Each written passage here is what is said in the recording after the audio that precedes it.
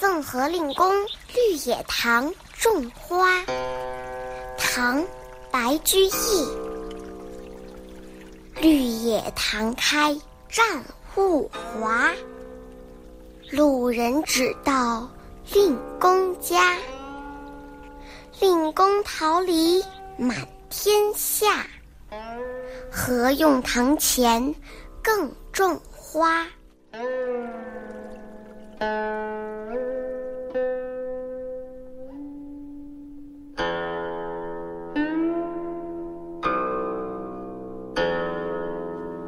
奉和令公绿野堂种花，是白居易的代表作之一。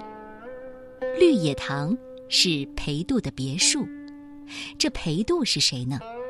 唐代中后期杰出的政治家和文学家，二十五岁考中进士，辅佐了四任皇帝，但是因为正直，也多次遭到皇上的冷落和权臣的排挤妒忌，三次当上宰相。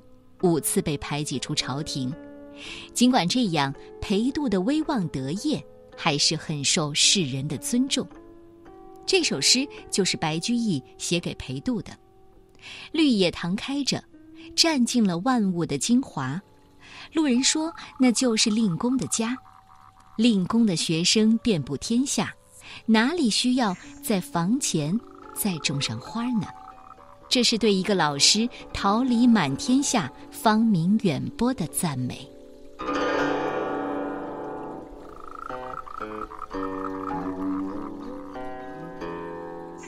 奉和令公绿野堂种花，唐·白居易。绿野堂开占物华。路人只道令公家，令公桃李满天下，何用堂前更种花？